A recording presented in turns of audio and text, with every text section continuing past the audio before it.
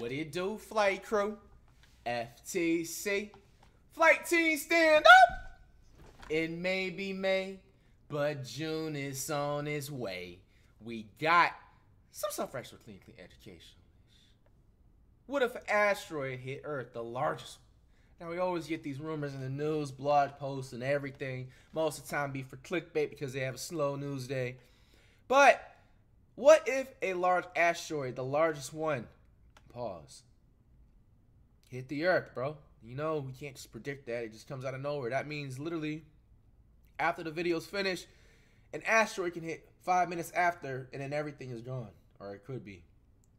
All right, now I'm gonna lay off y'all. Taking it easy, man. It's Memorial Day. No quizzes this week, man. I'm not y'all other teachers, man. But I will say, as usual, man, the school year is almost up. Do not go out sad and lose your iPhones, your iPads, your LimeWires, your Androids, your MP3 players, your CD players.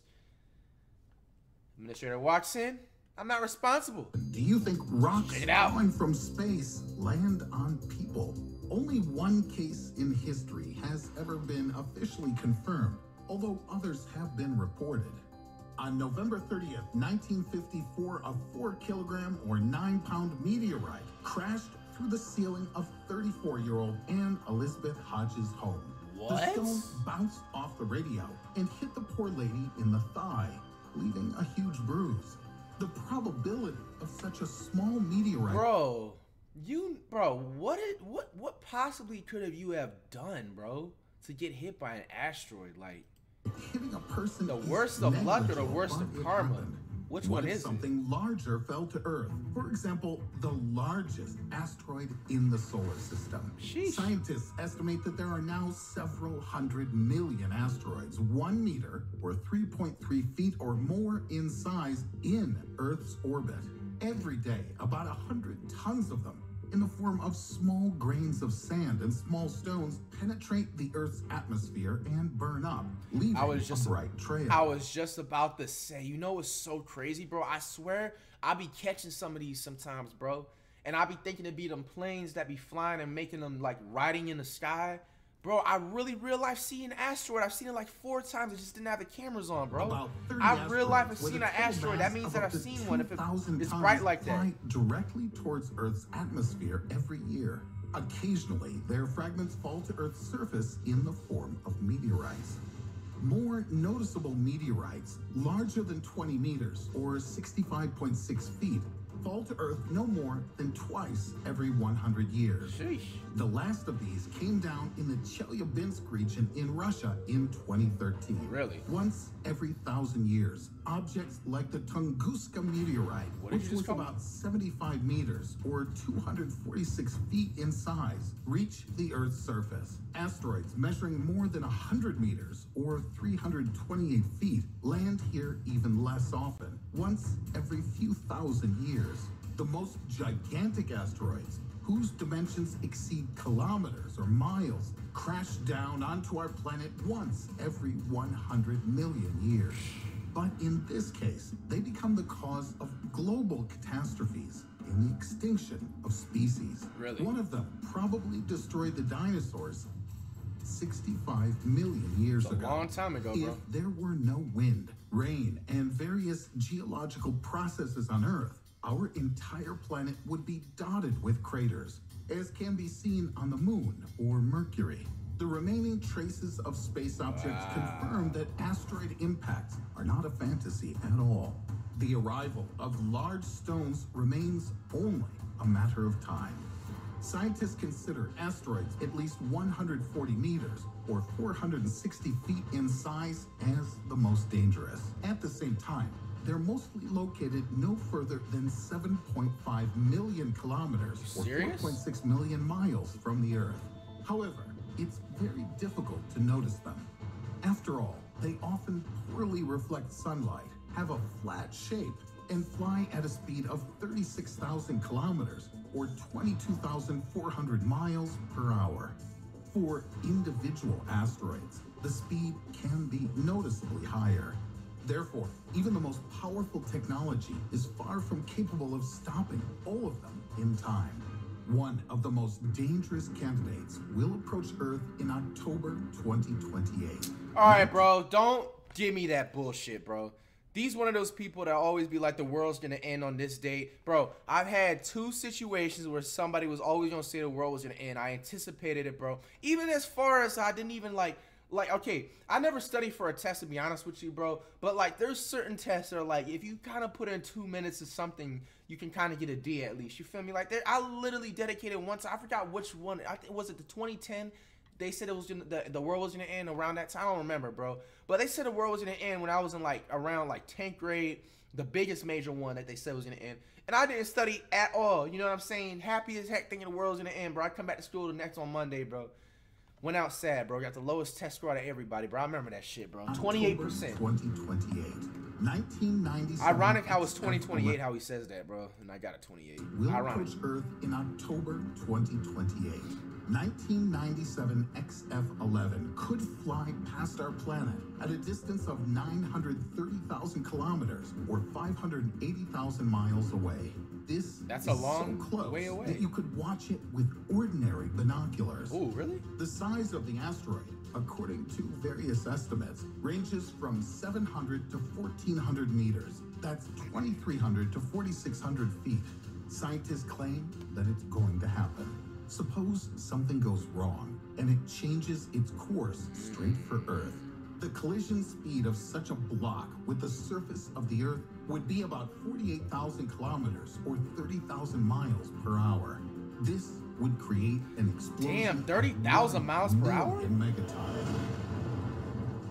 It's hard to imagine such a figure. Imagine that it partially burns out in the atmosphere or is divided into smaller fragments. If an asteroid fragment the size of a one story house crashes into Earth at the same speed, its power will be approximately comparable to the bomb detonated in Hiroshima, about 20 kilotons. Wow. Such a collision would raze every reinforced concrete building within a radius of 800 meters or 2,600 feet from the impact of the asteroid. Really? Everything made of wood within a radius of 2.4 kilometers or one and a half miles would be destroyed. Damn. If the length of the fallen asteroid is comparable to a 20 story building and is a little over 60 meters or 200 feet wide, the impact power will be close to the explosions of modern nuclear bombs. Shit. That is approximately 25 to 50 kilotons. This is enough to incinerate every reinforced concrete structure within 8 kilometers or 5 miles from the point of impact. Consequently, all living things on the site will also perish. In the event that 1997 XF-11 falls to Earth as a whole, So that's honestly how the dinosaurs like died, bro. A whole bunch. I like people have their theories, bro, but I really feel like because some people be like, oh, there was a Big Bang, Pangea, this and that. I honestly feel like the Earth just got hit with an asteroid shower, bro.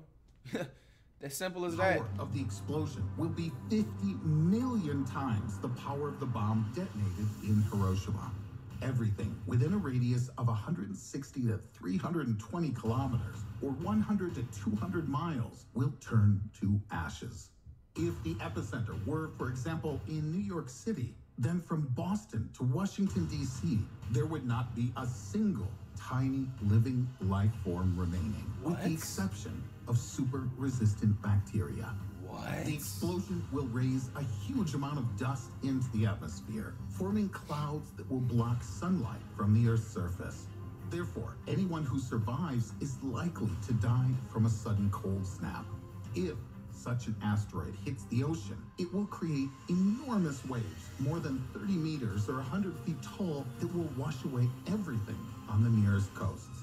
This asteroid is only one of the few potentially dangerous objects that could destroy life on Earth.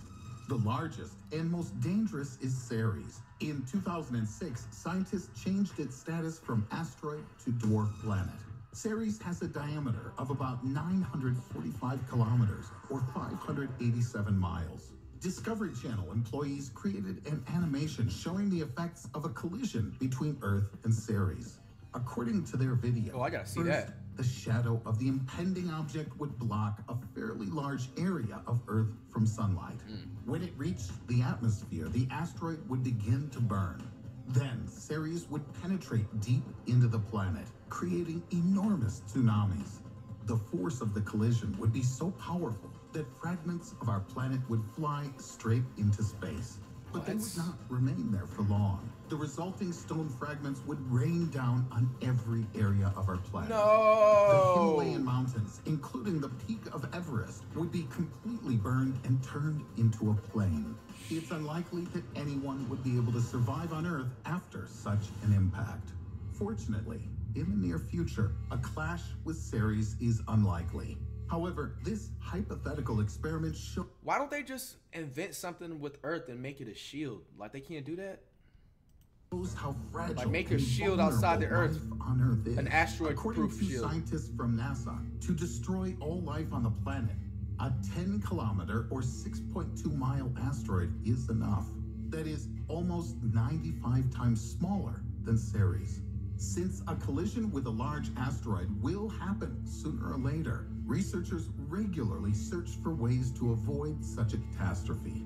The best way to do this is to change the trajectory of an asteroid or destroy it in space before it reaches us. Mm. For these purposes, NASA, together with SpaceX, plan to launch the DART spacecraft.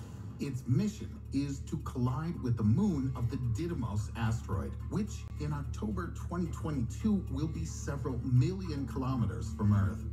DART weighs 500 kilograms or 1,100 pounds and measures 12 and a half meters by 2.4 meters or 41 by 8 feet.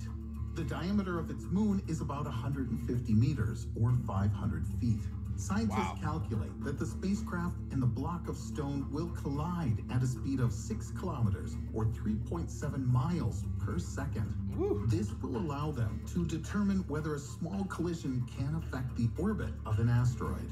In any case, the main thing is that after this experiment, Didymos and its moon will not be heading towards Earth because their trajectories are currently not in line with our planet. Damn. In truth, for each of us, the chances of dying from an asteroid are pretty small. They're even smaller than the probability of getting struck by lightning, Wow. amounting to only 1 in 280,000. But these statistics apply to the individual. If we talk about the planet as a whole, then the hazard coefficient increases. Asteroid 2010 RF12 has the highest chance of colliding with Earth, 1 in 16. It could come within 8.7 thousand to 15,000 kilometers, or 5,400 to 9,300 Bro, just say the miles, bro. Nobody Earth. knows kilometers, And bro, In please. 2095, it could even crash into our 2095 would be like It's not 100. large enough to lead to global cataclysms. However, there are still many other giant boulders in space flying past Earth at a dangerously close proximity. In your opinion, will technology be able to fully protect us from collisions in the future? Let us know in the comments. As usual, man. Coming out of the last rest video, Roll the